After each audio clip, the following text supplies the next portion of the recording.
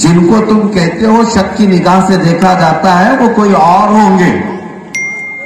वो कोई और होंगे।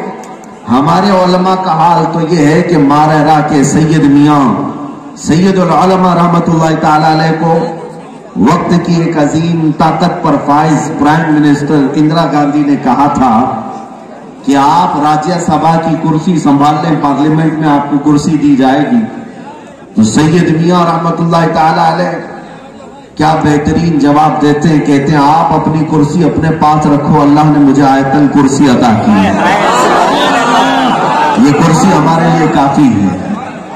अजीजा ने गिराम वकार नबी पाक सल्लल्लाहु अलैहि वसल्लम का जो हकीकी गुलाम होता है, उसकी इज़्ज़त अल्लाह तबारक हमेशा बरकरार रखता है।